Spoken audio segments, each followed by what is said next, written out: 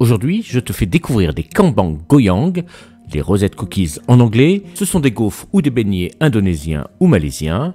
On les réalise grâce à un moule spécifique que tu peux acheter sur internet en les faisant frire dans de l'huile. J'ai découvert cette délicieuse recette lors d'un voyage en Malaisie.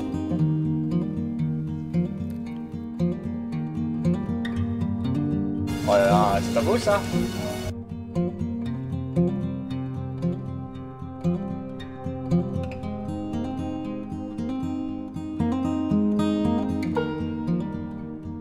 Allez, tout de suite la recette. Dans un bol, tu verses de la farine de riz, tu rajoutes le sucre, un œuf et le lait de coco. Tu mixes à l'aide d'un mixeur plongeant pour obtenir une belle pâte bien homogène. Une fois que tu as obtenu cette belle pâte, tu la transvases par portion dans des petits ramequins.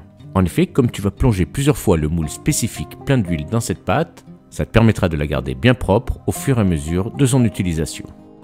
Tu fais chauffer ton moule à rosette dans de l'huile bien chaude, environ 30 secondes. Trempe aussitôt dans la pâte.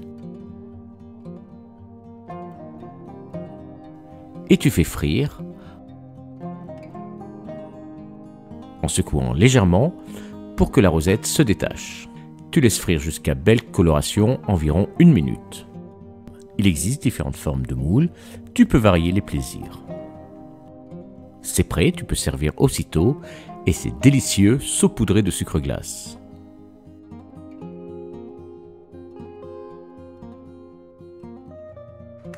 Merci d'avoir regardé. Si ce contenu t'a plu, n'hésite pas à t'abonner. Tu trouveras plein d'autres choses pour te faire plaisir sur ma chaîne.